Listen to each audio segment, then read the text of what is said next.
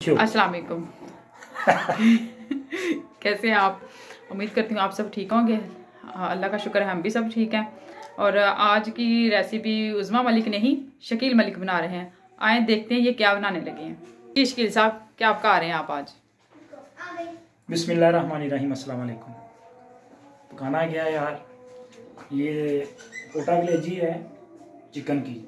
और पकाना नहीं था भूख लगी है मैंने बेगम को कहा कि यार जल्दी पका दे और कहती जी टाइम ना नहीं पकती है वरना खुद पका लो मैंने कहा चलो यार आज ये भी ट्राई करते हैं हमने कौन सा पहले नहीं पकाया पकाया पहले इस बार बैचलर लाइफ में करते ही नहीं सारा कुछ तो, तो क्या मैं बता रहा हूँ आपको पोटा दे ये, ये क्या पका रहे हैं आप बताया तो है आपको चिकन के स्पेयर पार्ट भी इसको कहते हैं यार होटलों से खाते रहे हैं स्पेयर पार्ट भी बोलते हैं पोटा कलेजी भी है तो इसमें क्या एक तो ये है हमारा स्पेशल मसाला। ये उसमें ने मिक्स करके रखे हुए हैं। मेथी दाना है कलवंजी है सौंफ अजवैन है। बस ये ये तीन मेरा ख्याल। जीरा भी है। अच्छा जीरा भी है इसमें। ये घी मैंने डाला है कुकिंग ऑयल यूज़ करते हैं। कुकिंग ऑयल गर्म हुआ है ये इसमें डालेंगे। ये देखें इसको मेरा ख्याल है कि वो सिर्फ़ एक एक एक मिनट ही सिर्फ़ यूज़ करते हैं। वो किधर गया वो, वो, वो मसाला डालें साथ ही। ये वाला? वो पड़ा है। अच्छा ये हो गया। अब इसमें ये मसाला बना हुआ है। इसमें वो क्या कहते हैं प्याज टमाटर अदरक लहसुन ये सारा वो बना के रखा हुआ है। ये ज़रा फ़ायदा हो गया ना मुझे। ये डाल देंगे इसमें। ये क्या? और डाल दें।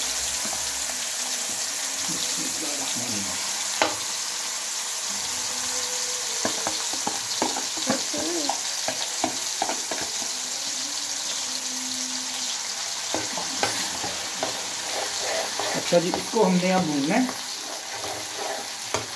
तो इसमें थोड़े से ना टमाटर और भी डालेंगे। मुझे ज़रा अच्छे लगते हैं।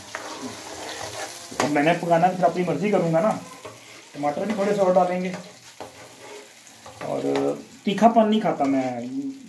मिर्च बहुत ज़्यादा यूज़ नहीं करता। तो आज देख लो, सही पकता भी है। तो भूनना है। ये मैंने चॉप किया है। टमाटर। ये एक्स्ट्रा भी डलेगा इसमें। ठीक है।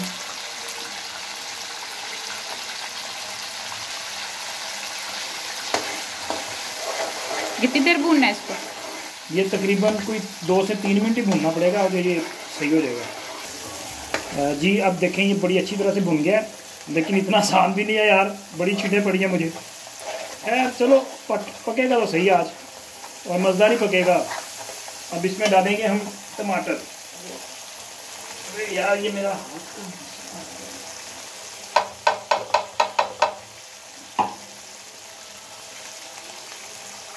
यार, ये ज़रा हेल्प कर दो। ये डाल दो मेरा हाथ, कर दो।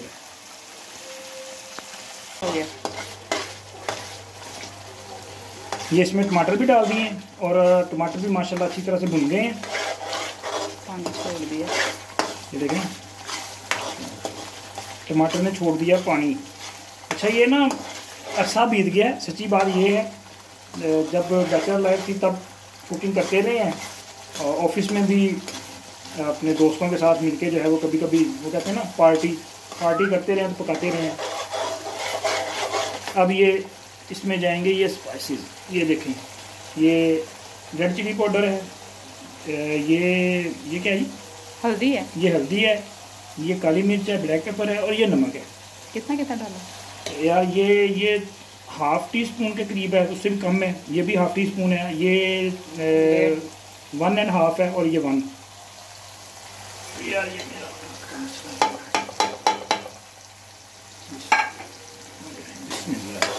अच्छा इसमें थोड़ा सा डालेंगे पानी। दही। अच्छा जी इसमें अब मुझे पता बताया गया कि दही डालना है। यार ये मैं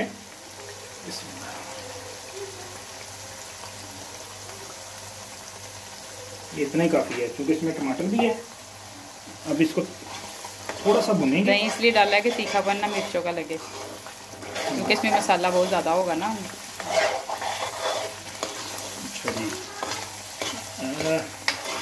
चैलेंज तो मुझे दिया गया था अकेले को, लेकिन फिर मैंने कहा, चलो यार, बेगम के साथ पकाए ना तो वैसे भी जिस चीज़ में खलूस आ जाए ना, उसका असर बढ़ जाता है। ये खलूस आ गया, प्यार आ गया, दोनों का। हाँ तो मियाँ बीवी के प्यार से ये ये जो डिश है ना, इसमें ज़्यादा टेस्ट आना है, इसी वजह से कि इसमें हमारा प्यार भी शामिल हो गया ना खलूस शामिल हो गया। अब इसमें डालेंगे थोड़ा सा पानी ठीक है? ये देखें जी। आ, असल में ना मसला ये है कि मेरा ना एक हाथ दर्द होता है तो इसलिए मुझे प्रॉब्लम आती है ज़रा काम करते हुए भी। अच्छा इसको ये देखें ये हो गया ना प्यार। इसको थोड़ा सा भून लें। ये इसका ज़रा वो कुकिंग ऑयल जो है वो ऊपर आ जाएगा फिर इसमें डालेंगे हम ये वाली अपना स्पेयर पार्ट्स मज़े मज़े के। ये मसाले वाले बनेंगे और बड़े टेस्टी होंगे। मैं तो खैर रोटी के साथ खाऊँगा और मेरी बेगम साहबा जो हैं वो अब रोटी साथ खाती हैं यानी ये इनकी मर्ज़ी है। भाई हम नान के साथ खाएँगे? ओ वाह जी वाह। साथ कोक पियेंगे? ओ स्प्राइट सीधे शुगर पेशेंट अभी किसे पीनी चलो उसी पियो जनाब। अच्छा जी ये थोड़ा सा कम कर लें यार मुझे तो छींटे बड़ी पड़ रही हैं। ओ यस नो नो ये यार। यार ये बड़ी तेज पड़ी है लाओ मैं करूँ आप आ जाइए मैं पकाऊँगा यार ऐसे नहीं आप आ जाइए इधर मैं आप करती हूँ। ना भाई ना। आपसे नहीं पकनी अब छोड़ दें। ना ना अब ये आ गया इसका देखें ऑयल आ गया ऊपर। अब इसमें जाएँगी ये ये बड़ी अच्छी तरह से साफ़ की है मैंने नहीं की बेगम ने की है। तो अब ये गर्म पानी में साफ़ की। गर्म पानी में तो अच्छा जी। ये गर्म पानी इनको पहले भिगोया था सिरका और नमक डाल के फिर उसके बाद गर्म पानी में भी इनको डाला अच्छी तरह से इनको साफ़ किया गया। अब इसमें चली गई हैं। इसको अच्छी तरह से मिक्स कर लेना ये सब के साथ चिपक जाएगी मसाला। फिर इनको भूनेंगे, भूनने के बाद इनको हल्का सा पानी लगा के दम ही सिर्फ़ लगाना है। फिर उसके बाद ये सिर्फ़ मसाला बचेगा, पानी उतना ही हमने डालना है कि जो इसमें पक जाए मतलब ख़त्म हो जाए। ये जिस तरह अभी आपको नज़र आ रही है ना, ये मसाले इसके साथ, ये इसी तरह आपको नज़र आएँगी जब ये फाइनल होंगी। ये मसाला ही होगा इनका। और ये आप चाहें तो रोटी के साथ खाएँ, लेकिन जैसे आप वो खाते नहीं हैं, खाली टिक्का बोटी ये उसी तरह की मसाला, लेकिन वो टिक्के के साथ कम मसाला होता है, वो कुछ और तरह का मसाला होता है, खड़ा मसाला जिसे को कहते हैं ना, कच्चा लगा होता है। ये पका हुआ होगा तो इसका टेस्ट जो है वो बहुत ज़्यादा होगा। ये हम पकाते रहे हैं अपने ऑफ़िस में ना, मेरे दोस्त। वो कहते हैं अभी तो अभी तो ये ट्रेंड है ना, ये मैं हूँ, ये गाड़ी है और यहाँ पार्टी हो रही है। तो ऐसा ट्रेंड था कि ये मैं हूँ ये मेरे दोस्त हैं ये हमारा ऑफ़िस है। चूँकि ईद की छुट्टियाँ हैं और यहाँ पे पार्टी हो रही है। तो ऐसे होता था। अब वो बड़े याद आते हैं। वो इस, इस वक्त मुझे याद आ रहा है वो गाना कभी हम सुनते थे बड़े चेते आंदे ने यार अनमुल्ले हम्म, बाकी यार अनमुल्ले आंदे ने। नहीं जी अब इसको हम छोड़ देंगे थोड़ी देर के लिए। इसके ऊपर लगेगा ढक्कन इसका ढक्कन किधर है भाई वो बड़ा सामने ये ढक्कन आ गया ये गया ये यहाँ पे गया और मिलते हैं ब्रेक के बाद अब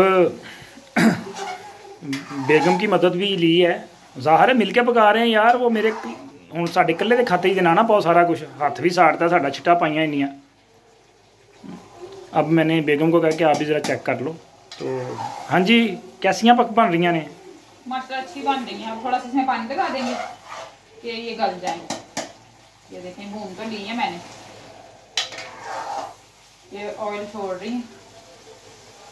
घी ऊपर आ रहा है इसमें पानी लगा देना थोड़ा सा। चलें जी फिर आपसे मिलते हैं इसको बिल्कुल फाइनल करके। ये कलेजियाँ पोटे पका दिए शकील साहब ने। आज शकील साहब ने खाना बनाया है। तो आज टेस्ट करने की मेरी बारी है। पहले तो रोज़ यही करके बताते हैं कि यार कैसी बनी है। देखती हूँ नमक कम डालेंगे मिर्चें?